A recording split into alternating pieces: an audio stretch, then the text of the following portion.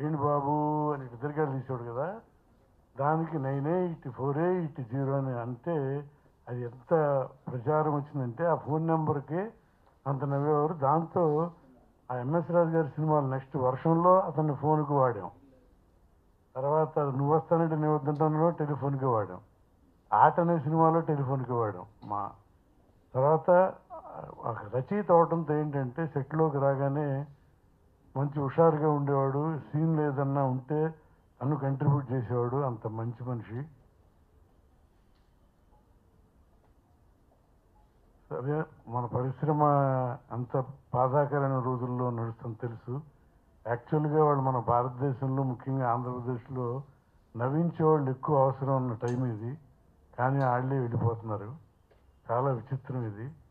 ఒక ఏవియేషన్ మొన్న మొన్న మొన్నటికి శ్రీహరి కూడా ఒక విలన్ లాగా ఉన్న అతను డాన్ అయ్యి అతను తెగ నవ్వించాడు ముందు చనిపోయే ముందు అన్ని సినిమాల్లో అతని వల్ల చాలా సినిమాలు ఆడిని. అలాగే ఏవిఎస్ పరిశ్రమలో డైరెక్టర్ అయినా ఒక మా అసోసియేషన్కి ఎంతో సేవ చేశాడు.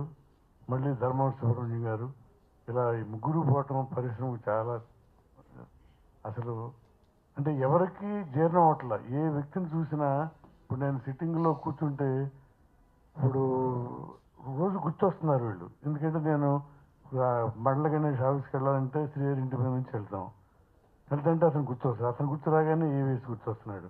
మళ్ళీ ఇతను. ఇలా అసలు మన పనికి చేసుకోలేక ఏంటి వీళ్ళందరూ ఇట్లా అయిపోయారు? పైగా మన సహచరులు. నేను మొన్నటిదాకా మనతో పాటు చాలా సినిమాల్లో మనతో పాటు ట్రావెల్ అయిన వాళ్ళు. ఇలా అయిపోయింది ఏంటనేది నాకే కాదు. చాలా మందికి సహనటినట్లు ఇప్పుడు మేమంటే రచయితలం. ఆ రోజు సెట్లో ఉండి వెళ్ళిపోతాం. కానీ నటు సహనటినట్లయితే ఇరవై నాలుగు గంటలు వాళ్ళతో ఉంటారు. వాళ్ళకి ఎంత బాధాకరంగా ఉంటుందో నాకు తెలుసు. ఇప్పుడు శివకృష్ణ కూడా అంటున్నాడు ఏంటండి ఇది? మన పరిస్థితి ఇట్లా అయిపోయింది. తెలుగు పరిశ్రమకి ఏమైందని? నిజంగా భగవంతుడు ఎప్పటికైనా కరుణించి దీన్ని ఇప్పుడు అందరూ అర్ధాంతరంగా వెళ్ళిపోయిన వాళ్ళే. పోనీ వయసు ఎనభై ఏళ్ళు తొంభై ఏళ్ళు ఎవరికీ లేవు ఇందులో. కనుక భగవంతుని కోరుకుందాం పరిశ్రమ తరఫున. బాబు ఇంకా ఆపేయిక. ఇంకా ఇలాంటి ఈ దుఃఖాన్ని మేము భరించలేము. ఎందుకంటే ఇంత మంచి వాళ్ళు పరిశ్రమ కావాల్సిన వాళ్ళు అన్ని రంగాల్లో నిపుణులు పైకి అని ఆ కుటుంబానికి అతని ఆత్మకు మనశ్శాంతి కలగాలని అతని కుటుంబానికి మా తరఫున నా తరఫున ప్రగాఢ సంతాపాన్ని తెలియజేస్తున్నాను. చాలా బాధాకరమైన విషయం. ఏ శాపం నాకు తెలియదు కానీ ఇందాక మా గురువు గారు చెప్పినట్టు గత రెండు మూడు మాసాల్లో వరుసగా ఒకటి రెండు మూడు అయిపోయినాయి. శ్రీహరి ఆ తర్వాత ఏవిఎస్ ఆ తర్వాత ఏమో ధర్మవరం సుబ్రహ్మణ్యం గారు. ఈయన ఒకనొక సందర్భంలో నేను ఇంతటి యాక్ట్ చేయలేదు. ఒక పర్టికులర్ లొకేషన్లో నేను షూటింగ్ ఫినిష్ చేసుకుని వెళ్ళిపోతుంటే వీళ్ళ బ్యాచ్ వచ్చారు. వస్తే నేను సుబ్రహ్మణ్యం గారితో చెప్పా.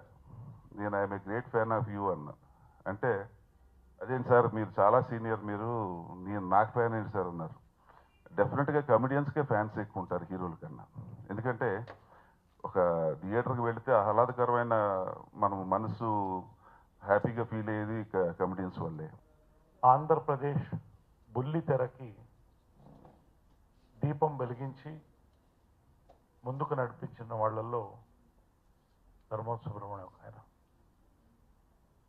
బహుశా ఫౌండేషన్ స్టోన్ వేసిన వాళ్ళు ఒకళ్ళు. అక్కడి నుంచి ఆయన అద్భుతమైన నటనతో వెండి తెరపైకి వచ్చి ఆయనకంటూ ఒక బాణి సృష్టించుకుని వందల సినిమాలు మనల్ని అందరినీ అలరించి చివరికి దర్శకుడుగా అతని మొదటి సినిమా నరేష్ గారు తోకలేని పెట్టాను ఒక సినిమా చేద్దాం నన్ను అద్భుతమైన టైటిల్ చెప్పినప్పుడు చాలా సంతోషపడి నెక్స్ట్ స్టేజ్ కూడా మీరు వెళ్తున్నారు కంగ్రాచులేషన్ చెప్పడం జరిగింది. ఈ రోజున సినీ పరిశ్రమ ఆంధ్రప్రదేశ్ సినీ అభిమానులు ఒక్కొక్కరు కూడా దిగ్భ్రాంతికి గురై ఈ రోజున కడనీళ్ళు పెట్టుకున్నటువంటి పరిస్థితి ఉంది. కానీ ఇదంతా జరుగుతుండగా కొంతమంది మాలో ఒక కుటుంబ సభ్యుడిని కోల్పోయాం అన్నటువంటి ఆ బాధ మేము చెప్పుకోలేము జంజాల గారి కుటుంబం ఒకటి ఉండేది. దాంట్లో మా పెద్దల్లో ఒక ఆయన. ఒక సొసైటీ హ్యూమర్ సొసైటీ అది. ఈ రోజుల్లో నేను చాలా బాధపడతాను. చాలా మంది చెప్పుకుంటున్నాను మనం కలవడం లేదు ఈ మధ్య. ఎవరికి వారే అయిపోతున్నాం షూటింగ్లు కలుస్తున్నాం షూటింగ్ తర్వాత మనం ఏంటో ఎవరో తెలియట్లేదు కానీ గంటల గంటలు రోజులు కలిసి నవ్వుకొని ఎన్నో కొత్త హ్యూమర్కి సంబంధించిన విషయాలు మాట్లాడుకొని. ఇందాక పద్మ గారు చెప్పినట్టు స్టోరీ డిస్కషన్లు అంటే అడవుల్లోకి వెళ్ళిపోయి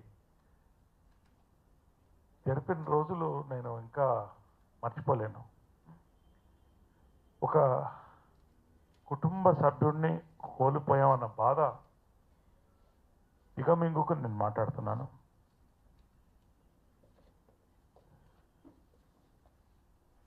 ఇది పరంపర ఈ ఏదైతే ఈ వరుస జరుగుతుందో అది అందరూ కూడా మనస్ఫూర్తిగా ప్రార్థించాలి. ఇది ఇద్దరితో భగవంతుడు బ్రేక్ అయ్యాలని నేను కూడా కోరుకునేవాడిని ఒకడిని.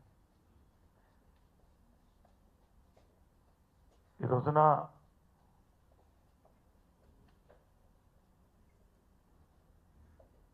ఆ నవ్వులు ఈ పువ్వుల్లో కలిసిపోయాయి. ఇంకొక అద్భుతమైనటువంటి నటుడు మంచి మిత్రుడు అజాత శత్రువు అటువంటి వ్యక్తి మన మధ్య లేడు. ఆ లోటు బహుశా ఇంకొక రెండు మూడు తరాలకి ఊడ్చడం చాలా కష్టమేమో. కి నాకు ఆర్టిస్ట్ కన్నా కూడా అద్దంకిలో నా ఇంటి పక్కనే ఆయన సైట్ ఉంది. బేసిక్గా అంటే నాకు తెలియని కూడా తెలియదు నేను అక్కడ ఏదో వెంచర్ వేసి ఉన్నప్పుడు పక్కన ఇది ధర్మవరపు సుబ్రహ్మణ్యం గారి తోట అని ఒక పన్నెండు ఎకరాలు చెరువు పక్కన నరసింహస్వామి క్షేత్రంలో చాలా అద్భుతమైన ప్లేస్. అటువంటి ప్లేస్లో ఆయన అంటే నేను ఎప్పుడు ఇక్కడ హ్యాపీగా ఉండాలి సార్. మా ఊరు పక్కన ఇది. ఒక కాన్సెప్ట్ స్కూల్ పెట్టాలనే ఉద్దేశంతో ఆ సైట్ని ఆ పక్కన దాన్ని ఆయన తీసుకోవటం నాకు retire life I want to be there ఈ కాన్సెప్ట్ స్కూల్ని చేద్దామని చాలా శ్రమపడి అప్లై చేసి అన్ని చేసిన తర్వాత సమ్ పేపర్లో న్యూస్లు వచ్చి అంటే రాజశేఖర రెడ్డి గారి టైంలో ఉన్న టైంలో ఏదో ఆబ్లిగేట్ చేసి ఇచ్చారు చాలా తక్కువ కంటే ఆయన ఫీల్ అయ్యి నాకు అక్కర్లేదని ఆ సైట్ని వదిలేశారు. ఆయన సొంత సైట్ ఉంది ఆ పక్కన. ఆయన రిటైర్ లైఫ్ అక్కడ హ్యాపీగా లీడ్ అవ్వాలి. నాకు నా సొంత ఏరియాలో ఉంటే నాకు చాలా ఆనందంగా ఉంటుందని ఎప్పుడు మేమిద్దరం మాట్లాడుతున్నప్పుడు ఆయన చెప్పేవారు ఇలా అశోక్ ఈ రేట్ వచ్చిందంటే సార్ చాలా మంచి రేటు కానీ అమ్మొద్దు.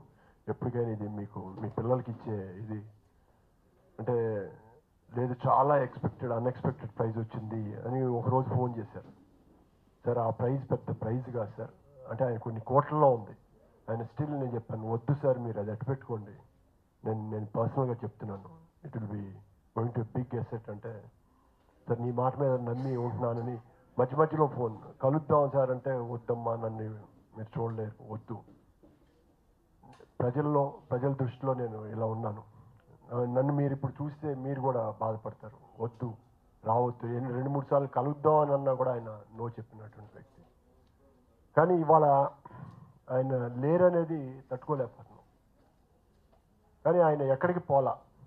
ఈ తెలుగు ఇండస్ట్రీ ఉన్నంతకాలం ఈ టీవీస్ ఉన్నంతకాలం ఆయన ప్రతి సీను ప్రతిది కూడా లైవ్లీగా మన ముందల నిలబడి ఆయన మన అందరినీ ఆనందింప చేస్తున్నాడు అనే విషయంలో మాత్రం ఎలాంటి సంశయం లేదు. నేను పుట్టి పెరిగింది తమిళనాడు అయినా నాకు ఎక్కువ బంధుత్వం ఉన్నది మన తెలుగులోనే. మొన్న ఆయన ఎందుకు ఆ మాట అన్నారో నాకు తెలియడం లేదు. సింగర్ శ్రీరామ్ పిక్చర్ చేస్తున్నాం మేమిద్దరు. మేమిద్దరు హస్బెండ్ అండ్ వైఫ్గా చేస్తున్నాం. అందులో వికారాబాద్లో షూటింగ్ ప్రేమ హిమ జాంతనయ్య అని అదే ఆయన లాస్ట్ షూటింగ్ కూడా అదే లాస్ట్ డే ఏ ముహూర్తంలో ఆయన ఎందుకు అలా అన్నారు నాకు అర్థం కాలేదు. ఏమండి రేపు నుంచి నేను షూటింగ్ చేయనండి అన్నారు. ఏంటండి అంటే ఏమోనండి నా హెల్త్ కోఆపరేట్ చేయట్లేదు నేను చేయలేనండి అన్నారు. ముందు రోజు ఈ మాట అన్నారు. డైరెక్టర్ గారితో మాట్లాడేటప్పుడు మీరు నైన్ థర్టీకి రండి సార్ అంటే ఆయన నైన్ ఓ క్లాక్ అక్కడ వికారాబాద్కి వచ్చారు. నేను మిమ్మల్ని నైన్ థర్టీకి కదండి రమ్మన్నారు మీరు ఎందుకండి నైన్కే వచ్చారంటే? కదమ్మా ఇంట్లో కూర్చొని నేను ఏం చేస్తాను? నలుగురితో ఉంటే నాకు కొంచెం మనశాంతిగా ఉంటుంది కదా. మీరందరిని చూస్తే బాగుంటుంది కదా. అందుకే నేను తొందరగా వచ్చానని వెళ్ళిపోయి క్యారవన్లో కూర్చుని ఉంటే ఇద్దరు చాలాసేపు మాట్లాడుకుందాం. ఇప్పుడు నా క్యారెక్టర్స్ గురించి అన్నీ చెప్పుకుంటే ఆ పిక్చర్లో నా గెటప్ గురించి ఆయనకి ఎంత అప్రిషియేట్ చేశారు. మొన్న ఆడియో ఫంక్షన్ అప్పుడు కూడా ఆయన్ని పిలిచారంట. ఆయన రాలేకపోతున్నానని చెప్పేటప్పుడు శ్రీరామ్ నాకు ఫోన్ చేసి చెప్తే నా బ్లెస్సింగ్స్ ఎప్పుడు ఉంటుంది అని. కానీ నేను ఇప్పుడు కూడా ఆయన చెప్పిన మాటలు అవన్నీ తలుచుకుంటే ఇంకా బాధగానే ఉంది. అది మా ఇద్దరు కాంబినేషన్ అలా అవుతుందని నేను అనుకోలే. ఇక్కడ ఉందా ఇందాక అశోక్ గారు చెప్పినట్టు ఆయన ఎక్కడ వెళ్ళా మనలోనే ఉన్నారు మన దగ్గరే ఉన్నారు. ఆయన ప్రతి క్షణం ఆయన పిక్చర్ చూస్తున్నప్పుడు మన దగ్గరే ఉన్నారు కదా. వస్తారు మనతో షూటింగ్కి వస్తారు అన్నట్టే ఉంటుంది. ఇంతకంటే నేను మాట్లాడలేకపోతున్నాను. అలాగే ఆయన ఆత్మకు శాంతి కలగాలని వాళ్ళ కుటుంబ సభ్యులకి ఆ భగవంతుడు మనోధైర్యాన్ని ఇవ్వాలని కోరుకుంటున్నాను. థ్యాంక్ యూ అన్నయ్య అన్నట్టు ఇంకా ఆగిపోతే బాగుంటుంది. అని ఆ దేవుని కోరుకుంటున్నాను ధర్మవరం సుబ్రహ్మణ్యం గారు ఇరవై ఐదు ఏళ్ళు ట్యాగ్ నరేష్ని హీరోగా పెట్టి ఆయన చేసిన సినిమాలో నాది కూడా ఒక మంచి క్యారెక్టర్. ఎంతో సరదాగా గడిపేవాళ్ళం. ఎక్కడైనా అవుట్డోర్ ఉండి చాలా దూరం లొకేషన్ అయితే అతనితో టైంపాస్ ఏ ఆర్టిస్ట్తో నన్ను తెలవదు పాటలు పాత పాటలు పాడుతూనే ఉంటాడు. ఏ మచ్చాలని చాలా మంచి ఆర్టిస్టు. ఎవరి ఇమిటేషన్ కనిపించింది అతను ఇంకా చెప్పాలంటే అసలు అతను మృత్యుంజయుడు. హార్ట్ అటాక్ వచ్చింది ఏం కాలే. పెద్ద యాక్సిడెంట్. ఆ రోజు వెళ్ళాను కార్ చూసి నా కార్ చూసిన వాళ్ళు ఎవరు దాంట్లో ఉన్న మనిషి బతుకుతాడు అనుకోలేదు. అలాగే నేను నాకు యాక్సిడెంట్ అయ్యి హాస్పిటల్లో ఉన్నప్పుడు తను ఎక్కడ ఫారెస్ట్లో షూటింగ్ అయ్యి అది ఇదో పురుగు కుట్టింది. చాలా డేంజర్ అన్నారు. అలా మూడు సార్లు మృత్యుం చేయించిన వ్యక్తి క్యాన్సర్కి తలగవలసి వచ్చింది సార్ ధర్మవరం గారు మీరు లేని లోటు తీర్చలేదు. ధర్మవరం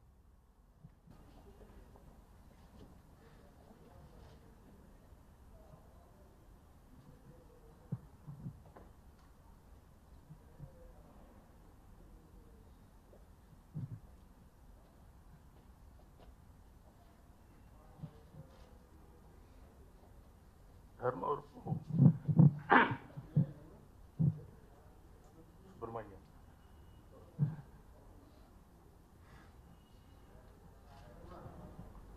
ఇరవై ఆరు సంవత్సరాలుగా నా పరిచయం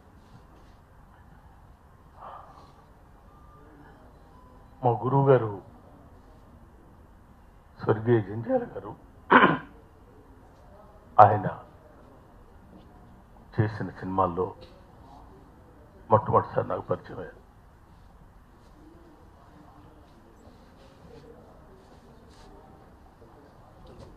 ఇప్పటివరకు బ్రహ్మానందం అని నన్ను ఎప్పుడు పిలిచలేదు. నేను ధర్మనా అంటే వాడు బ్రహ్మనా అనేవాడు. ఎల్లుండి చచ్చిపోతారన్నగా కూడా నేను ఆయనతో మాట్లాడాను. బ్రహ్మణ చిన్న రిక్వెస్ట్ రా. ఏడుదమ్మా చెప్పరా నీకేంటి? నేనంటే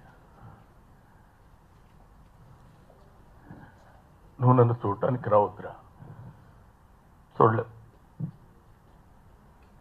నేను ఇంతకుముందు నిన్ను ఎలా ఉండేవాడినో నువ్వు నన్ను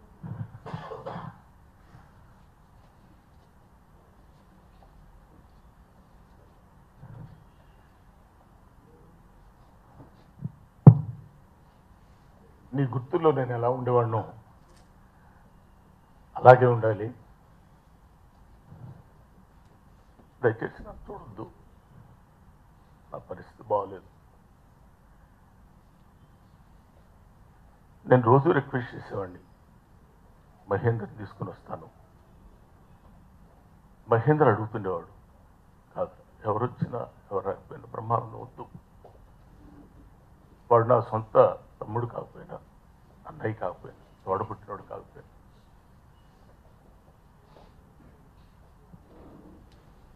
నేను వాడిని చూడలేను. వాడు నన్ను చూడకూడదు అని ప్రతిలాడు చెప్తే ఒకసారి కాదు కాదు నేను డెఫినెట్గా వస్తానంటే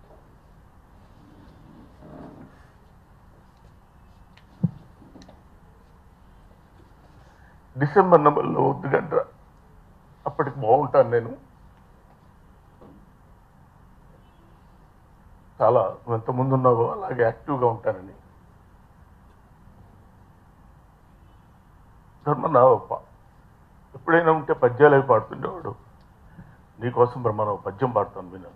నాకు అర్థం కాలేదు. వద్దురా ఎందుకు? ఈ ఏజ్లో ఇప్పుడు ఈ పరిస్థితి అసలు బాగాలేదు కాదు కాదు.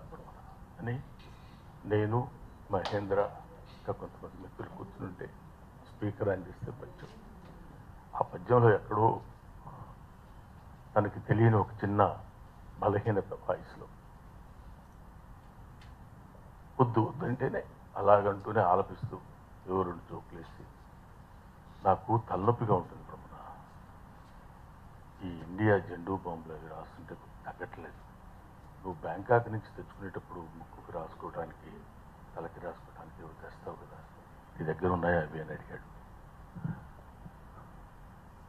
కరెక్ట్గా ఇంకొక ఐదు రోజుల్లో చచ్చిపోతాడు. అంటే నా దగ్గర ఉన్నాయి అది వెంటనే ఒకడిని ఇచ్చి వాడి ఇంటికి పంపిస్తే వెంటనే ఫోన్ చేసి చాలా థ్యాంక్స్ బ్రహ్మన్న అని మాట్లాడుతూ నీకెందుకు నేను వచ్చేస్తాను కదా? మన అందరం కలిసి మళ్ళీ యాక్ట్ చేస్తాం. బ్రహ్మన్న ఈ డోంట్ వరీ మనం జనవరిలో కొత్త కొత్త సంవత్సరంలో కొత్త ధర్మ సుబ్రహ్మణ్యాన్ని చూస్తామని చెప్పండి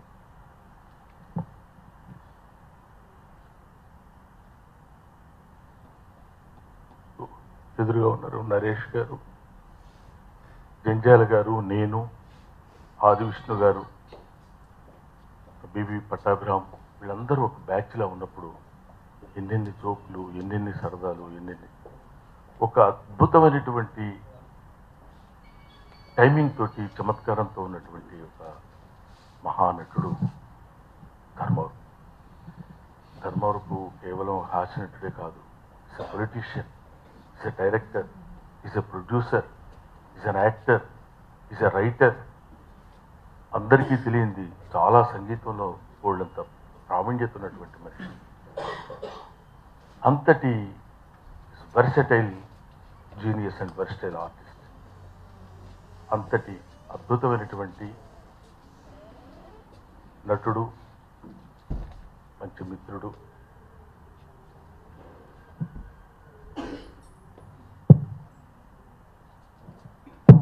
నా సోదరుడు